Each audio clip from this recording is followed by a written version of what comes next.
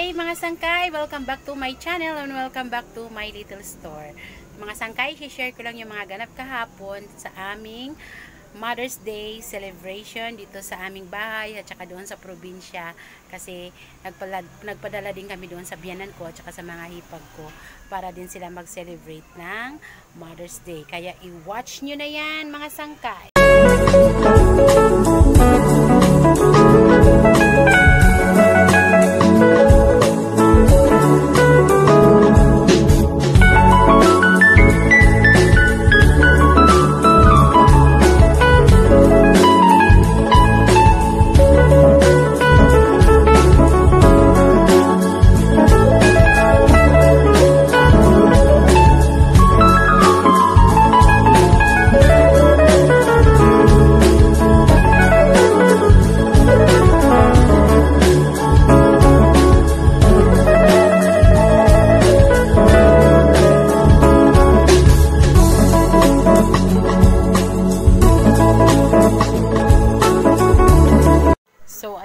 Mga sangkay ang aming ganap kahapon dahil nagpadala din yung aking ano aking hipag doon sa probinsya ng mga picture. Tapos yun ginawan ko na lang ng konting edit. Tapos yung asawa ko yung nagawa naman doon sa ano yung sa mga picture naman.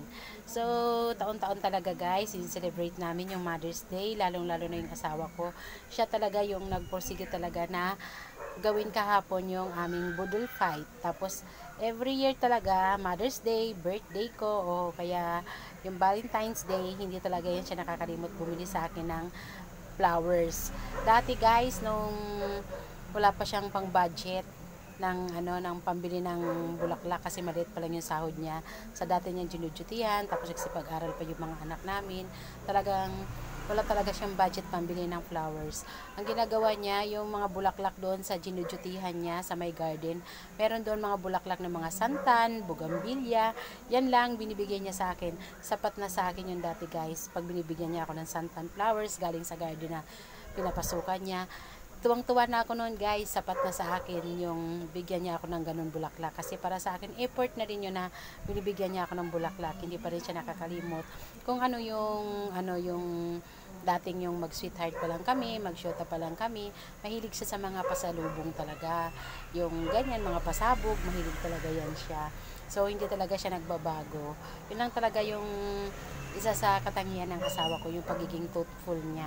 So, kahapon sabi ko sa kanya, grabe naman yan. Sabi ko sa kanya, pagbubudol fight pa tayo. Sabi niya, kasi special ka. Sabi niya sa akin. Diba, guys? Napakasarap naman sa pakiramdam yung ganun. Sasabihan ka ng asawa mo na, ano na special ka. Tapos nag-effort yung manugang ko, yung anak ko, sila yung nag-ihaw, sila yung nag-prepare ng mga ano namin, mga pang budol fight namin kahapon. Siyempre yung asawa ko rin tulong-tulong sila sa paghiwa ng mga pakwan, yung mga mangga, tapos yung settings dun sa lamesa. So, di ba guys, nakakatuwa yung ganon. Yung pamilya natin, eh, nag effort sa araw ng mga ina. Talagang, inaano talaga nila kung ano yung halaga mo. Talagang, natutuwa talaga ako ng ganon na pinahalagahan nila ako bilang, bilang asawa, bilang nanay, di ba talagang special day ko kahapon kumbaga nga kaya nga sabi ko nga kahapon ay ano muna, mag-half day lang ako ngayon. Nag-half day lang ako kahapon guys. Nagsarado ako ng alas 12 ng tanghali. Pero nagbukas din ako ng mga 5 ng hapon. Kasi nanghinayang din ako, wala naman akong gagawin. Kapag kasi talagang, ano, sabi ko na mag-half day ako, hanggang na yun sa kinabukasan na ako magsasara. Hindi ko kaya guys. Yung half day na tinatawag sa akin ay mga ilang oras So, ayun nga guys, 'di ba? Napakahalaga natin kahapon tayong mga nanay, mga inay, mga mama, mga mami, mga mamila, yung mga lola na, 'di ba? Talagang nakakatuwa talaga na meron mga ganung mga ganap na tayo ay nagse-celebrate ng ating Mother's Day special. So, sa lahat ng mga nanay, Happy Mother's Day sa inyong lahat, sa mga ka-super sari-sari store ko dyan.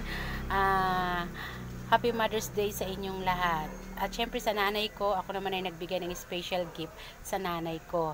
Secret lang yon Pinadala ko sa asawa ko yung aking secret gift sa nanay ko. At saka sa mga kapatid ko. Happy Mother's Day sa inyong lahat. At sa hipag ko kay tata. Remilin Espinosa Alvarez, shout out sa iyo, ta. Happy Mother's Day sa iyo. At salamat sa pag-aalaga mo sa mga pamangkin ko at lalong-lalo na sa kapatid ko. So, maraming maraming salamat sa inyo guys. Watch out kayo palagi sa aking video at magkita-kita tayo sa ulit sa aking vlog dito mga sangkay. I love you very much sa inyong lahat and good night. Mwah!